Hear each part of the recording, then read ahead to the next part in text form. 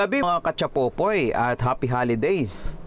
So habang naghihintay tayo ng mga kasiyahan natin, magbibigay uli ako ng topic para sa mga future registered criminologists. So may nag may nag-request tungkol daw sa classification of fires at saka mga example daw. So ang topic natin ngayon is about the classification of fires. Ako pa rin ang inyong lecturer na si Noli Z. Incad. Unahin natin ang Class A fire or fires involving ordinary combustible materials such as wood, cloth, rubber, and plastics. Ito yung mga ordinary combustible materials, mga common kahoy, mga paper, na na maaring madaling masunog. So, ito yung mga madaling masunog din, no? Tulad ng minsan ano forest fire no? Minsan mga kubo no? Kaya mag-ingat kayo dahil mag New Year so mga irresponsible na magpaputok diyan lalo gumagamit ng kandila tapos yung bahay is gawa sa mga kahoy or kubo delikado po yan. Lalo na may mga kurtina delikado po yan. Madaling masunog po yan. Halimbawa, kung nasunog yan, that is a form of a Class A fire. So, tatanda na, Class A fire involving ordinary combustible materials. Then, next, nandyan ang Class B fire. Ang Class B fire involving flammable liquid and gases. Ano may mga good example nito? Mga gasoline, Nandyan din yung kerosene, diesel, 'di ba? Kaya pag may nasunog na ano, gas station, 'di ba? So that is considered a class B fire kagad yan kasi may mga ano yan. May mga kerosene, gasoline and also diesel. 'Di ba? Kaya pag pumasok pumunta sa isang crime scene, sa mga arson scene, 'di ba? Ma maamoy naman kagad natin 'to kung meron bang gasolinang ginamit. 'Di ba? So sa malalim pag-aaral ng arson investigation, makikita natin 'yan doon sa mga kahoy na nasunog, 'di ba? Kapag nalagyan ng gasolina, mas maitim at mas malalim ang pagkasunog niyan. Kaya depende sa investigation. Remember, the arson investigation is the most difficult investigation. Bakit? Kasi nga, ang mga ebidensya ay nasusunog.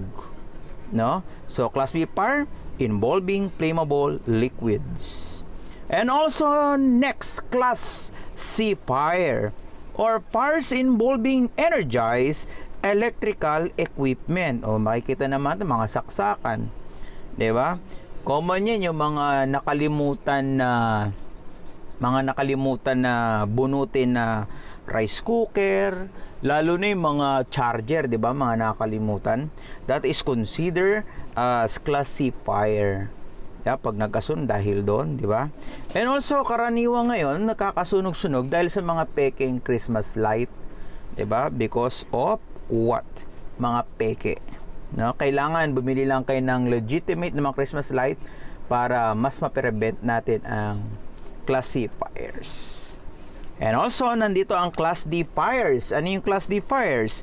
Involving combustible materials such as sodium, magnesium, potassium, and other similar material. Ito yung mga consider na metals. Di ba? And also non-metals, di ba? So, nandyan yung ano, magnesium, 'Di ba? Kaya nung nag-aaral tayo ng chemistry, try mong sunugin yung magnesium, 'di ba? It can give bright white light. 'Di ba? Tulad din ng ano, tulad din dun sa 9/11 9/11 bombing, 'di ba? May ano, may isang chemical din doon na nagre-react na pwedeng mag-start kagad ng apoy doon, no? That is considered as a class D fire because eh, there is a involving what metals. 'Di ba? And also, nandito rin ang class K fire. Ano yung class K fire? Fires in cooking appliance that involve combustible cooking media tulad ng mga ano mga mantika, 'di ba? Yung mantika once na nalagyan mo ng tubig na kumukulo, 'di ba? Nag-aapoy, 'di ba?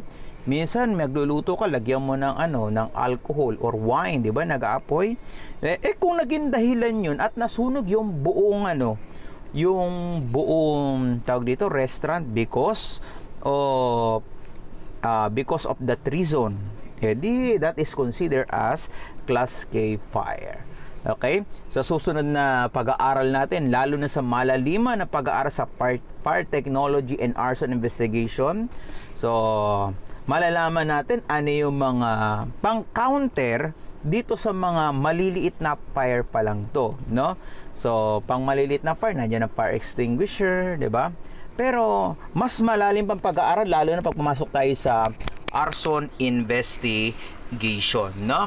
So, lagi kayong makikinig sa ating lecture dito sa Akli Mentoring by Chaps, no? So, wag nyo kakalimutan pala mag-subscribe sa ating YouTube channel sa Akli Mentoring by Chaps and also i-follow nyo rin ang ating Facebook, ang Akli Mentoring by Chaps. And also, kung gusto nyo bumili ng libro, meron tayong libro dyan. Nandyan ang tinatawag natin na Mastering Criminology Terms. So, eto, kung gusto niyo mag-order, nandiyan ang aking number, 0926-056-8167. 750 pesos lang yan ang ating libro na siguradong, aprobado, rekomendado, sigurado. So, maraming salamat sa inyo mga katropang Chapopoy. Hanggang sa muli!